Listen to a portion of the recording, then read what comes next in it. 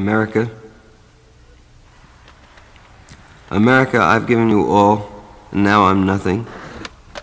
America, $2.27, January 17th, 1956.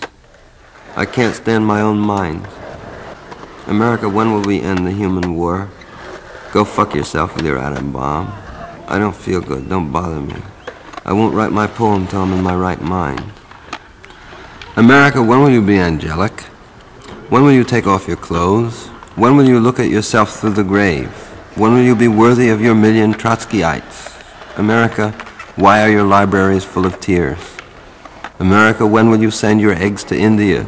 I'm sick of your insane demands. When can I go into the supermarket and buy what I need with my good looks? America, after all, it is you and I who are perfect, not the next world. Your machinery is too much for me. You made me want to be a saint. There must be some other way to settle this argument. Burroughs is in Tangiers. I don't think he'll come back. It's sinister. Are you being sinister, or is this some form of practical joke?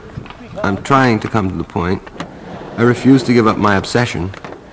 America, stop pushing. I know what I'm doing. America,